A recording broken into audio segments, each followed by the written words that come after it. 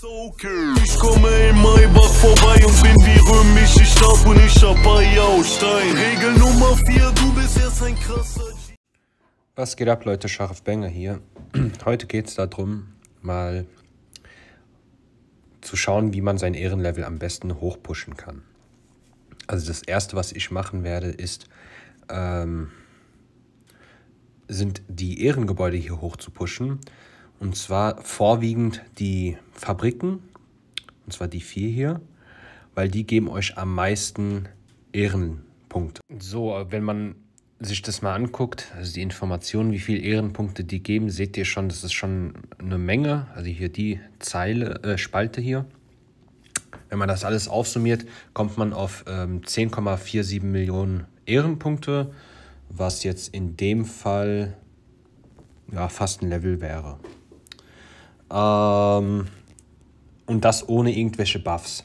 So, jetzt kommen wir zu den Buffs. Also wie ihr am besten die Ehrenpunkte durch eure Ehrengebäude pusht.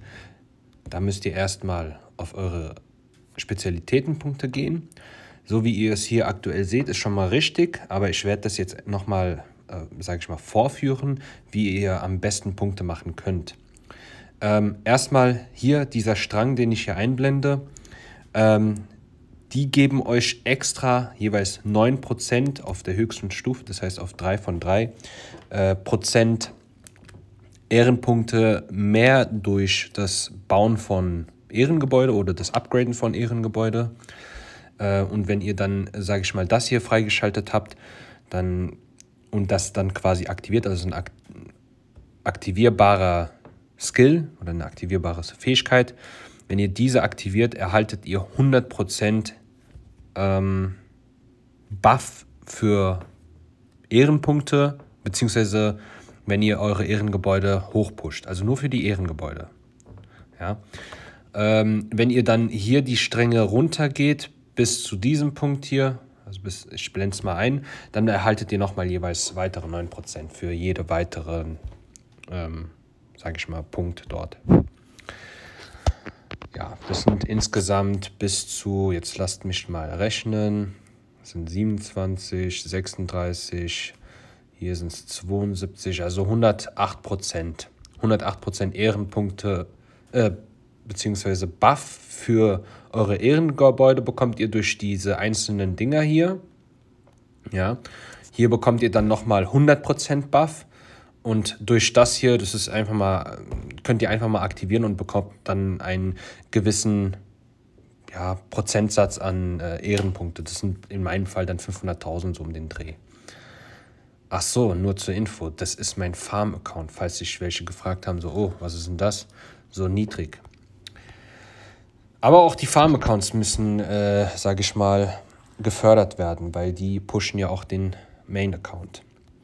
Genau, also ich mache es einfach mal vor, weil ich habe mm, eine gewisse Anzahl, oh nee, habe ich nicht, rüber zu einem anderen Farm-Account gegangen, ähm, weil auf dem anderen hatte ich keine Switcher mehr, also für die Spezialitätenpunkte. Und ich hatte auch keine Materialien, um die ganzen Fabriken zu äh, abzugraden.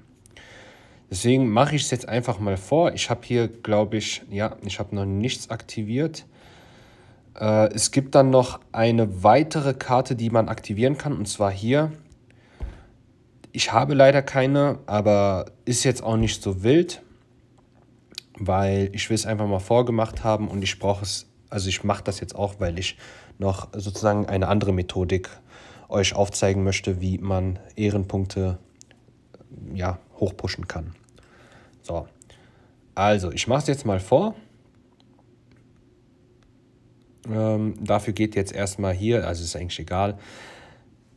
Einige werden wahrscheinlich jetzt sagen, so, oh, hier Spezialitäten, äh, Reset, also diesen super Spe Speciality Reset, den zu nutzen, 50.000 Doomsday-Münzen, äh, das ist äh, verschwenderisch, aber das ist mein Farm-Account, der ist dafür da, um meinen Main-Account zu pushen.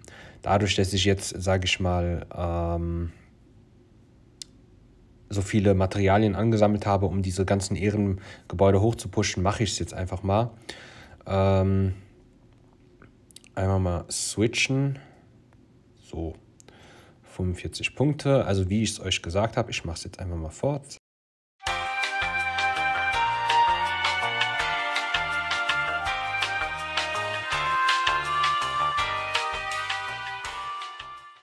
Jetzt noch weitere fünf Punkte, die verteile ich hier unten hin, weil man dadurch sozusagen Materialien, die man für das Upgraden von den Ehrengebäuden braucht, reduzieren kann. Ist natürlich äh, von Vorteil. Ne? Keine Ahnung, ich glaube, das waren jetzt 100.000, die es ausgemacht haben.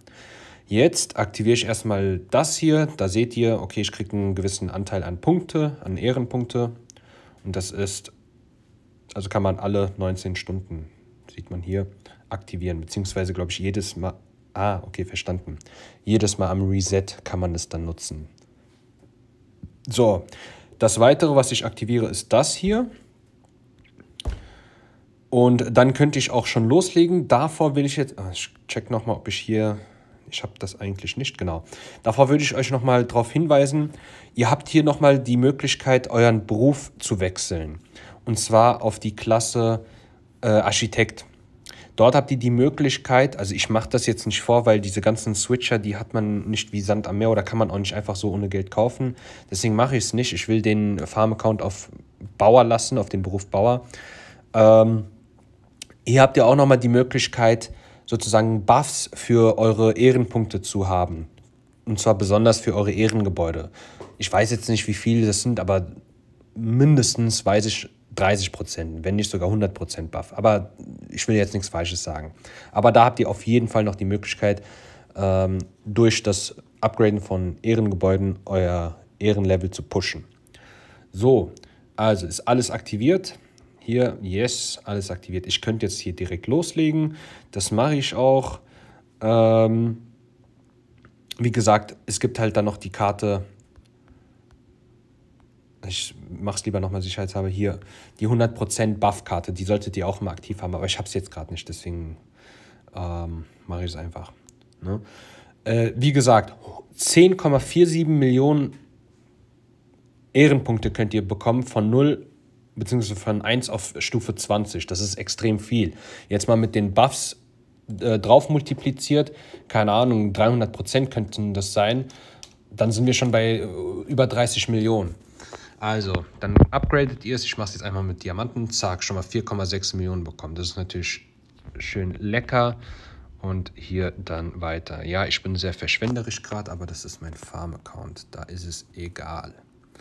Und jetzt pushe ich und pushe ich. Also ihr seht schon, ich habe übelst viele Punkte bekommen. Way, yo, way, yo. Ja, geil auf jeden Fall. Äh, so schaut es aus. Das ist zu dem Thema Ehrengebäude. Jetzt gibt es noch die Methode, ähm, euer Ehrenlevel über, über was zu bekommen? Über Felder sammeln oder Felder einnehmen. Ähm, da switche ich jetzt mal den Account. So, jetzt bin ich auf meinem Main-Account. Äh, es gibt hier die Möglichkeit, Ehrenfelder äh, einzunehmen, um Ehrenpunkte zu generieren. Ihr habt jetzt hier, wenn ihr zum Beispiel ein Level 15er Feld einnehmen solltet, bekommt ihr pro Feld 15.340 Ehrenpunkte. Das ist nicht viel. Das könnt ihr aber pushen, indem ihr sagt, okay, statt den Strang nach unten links zu gehen, das ist ja für Ehrengebäude, gehe ich nach unten rechts. Ich habe meine, äh, meine Punkte noch nicht ausreichend verteilt. Ich werde es auch auf meinem Main-Account nicht machen, weil äh, ich will auf den roten Strang gehen, um meinen Angriff und meine Verteidigung zu pushen. Jedenfalls müsst ihr dann hier die eingeblendeten wählen, hochleveln und dann bekommt ihr auch dort einen Push, sage ich mal, einen Ehrenbuff. Und zwar sind es äh, 36, nee 27, ja, ja, auch da sind so um, um die 108 Prozent mehr, die ihr bekommen könnt. Dann natürlich auch die, äh, die Karte hier, die ich euch erwähnt habe, sind hier nochmal 100 Prozent. Also bei meinem Main-Account habe ich einen, sind wir schon bei 208 Prozent. Genau. Mehr Buffs habt ihr leider nicht für die äh, Felder, aber es gibt die Möglichkeit, ich wechsle jetzt mal wieder den Account so, ihr habt jetzt hier die Möglichkeit, ähm, das kennen wahrscheinlich schon einige, den roten Strang nach oben zu leveln. Ganz einfach, hier diese Flagge, genau, das ist die Flagge, ähm, da habt ihr die Möglichkeit, wenn ihr ein Feld angreift, braucht ihr eine Ausdauer von 10 oder im Eden ist es Energie von 10. Durch diese Flagge, wenn ihr die maximal gelevelt habt, das heißt 5 von 5, dann braucht ihr nur noch 5. Das heißt, es reduziert eure erforderliche Energie um 50 Prozent. Sprich, ihr braucht nur noch 5 Energie pro Feld. Ja, ich mache es jetzt mal vor. Ja, ich werde das jetzt machen.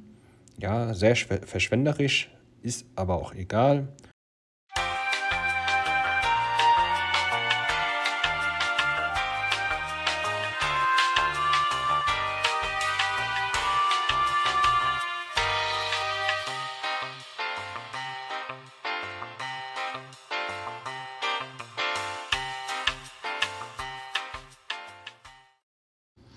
Also ihr seht auch, dass ich äh, hier nichts ähm, schneide oder so. Ich will euch einfach genau zeigen, wie es funktioniert. Äh, die vier Ehrenpunkte lasse ich jetzt, die brauche ich nicht. So. Jetzt mache ich so. Hier gibt es nämlich einige Felder. Genau hier war das. Ihr habt jetzt die Möglichkeit, äh, so, markieren.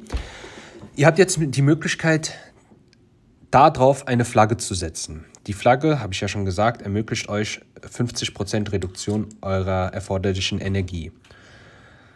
Jetzt ist es so, wenn ihr dieses Feld einnehmen wollt und ihr habt Platz, ne, also wenn ihr hier jetzt seht, ich hätte hier, oh, ich habe hier keinen Platz, 81 von 81 Feldern. Wenn ich jetzt 80 von 81 hätte und das angreifen würde, würde ich es einnehmen. In dem Fall, wo ich es aber, wo ich sozusagen voll an Feldern bin, ja, dann ist es so, ich will das angreifen, dann kommt erstmal diese Nachricht, dass meine ähm, Felder, sozusagen die Kapazität der Felder auf dem Maximum ist. Wenn ich das angreife, werde ich es nicht einnehmen. So, jetzt ist es so, wenn ich es ein, äh, angreife und ich es nicht einnehme, bekomme ich aber trotzdem die Ehrenpunkte. Ja, das heißt, wenn ich jetzt hier dieses Feld angreifen sollte, ich mache es euch gleich vor, werde ich es nicht erhalten, aber trotzdem hier diese 15.340 plus die ganzen Buffs äh, an Ehrenpunkte bekommen. Also wenn ihr alles voll habt, könnten das auch bei voller äh, Ausdauer um die 3 Millionen oder, also jetzt grob ge äh, gerechnet, äh, um die 3 Millionen oder auch 4 Millionen Ehrenpunkte sein. Das nimmt man mal gerne mit. Ja, also ich finde das nicht schlecht es gibt halt mal Phasen im Eden oder im Doomsday, wo ihr dann halt nichts machen könnt oder es ist halt schon entschieden, so wie bei uns. Dann äh, ist es einfach das, oder könnte ich empfehlen, euer Ehrenlevel zu pushen für die nächste Saison. Ja, das kann schon echt einiges ausmachen.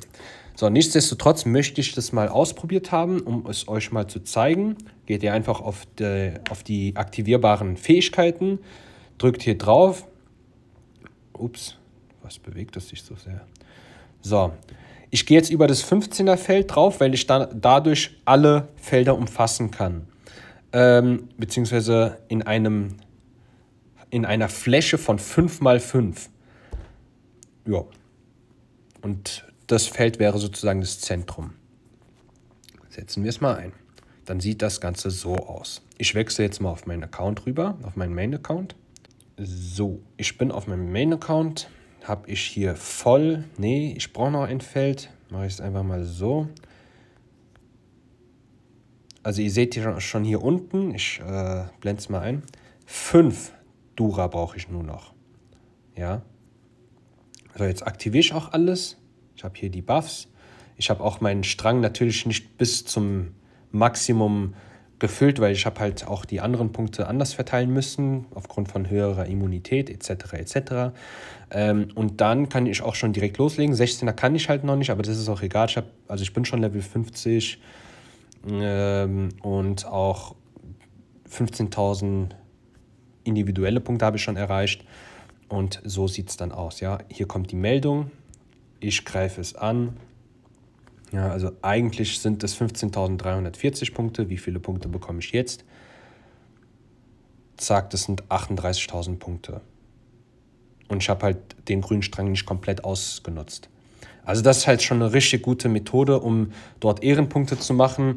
Ich habe jetzt hier auch leider keinen Bescheid gegeben, dass, die, äh, dass ich das halt mache. Das war jetzt sehr spontan, weil ich auch volle Dura habe und alles halt schon fertig habe. Deswegen will, will ich auch sozusagen das Maximum von Eden rausholen. Ja, das war's. Ich hoffe, euch hat das Video gefallen. Klar, es gibt halt einige, die das schon kennen oder viele, die das kennen, aber ich wollte es einfach mal gemacht haben für diejenigen, die das eben nicht kennen. Und äh, falls ihr irgendwelche Fragen habt, schreibt mich doch einfach gerne an und äh, dann werde ich mich auf jeden Fall melden. So, Peace.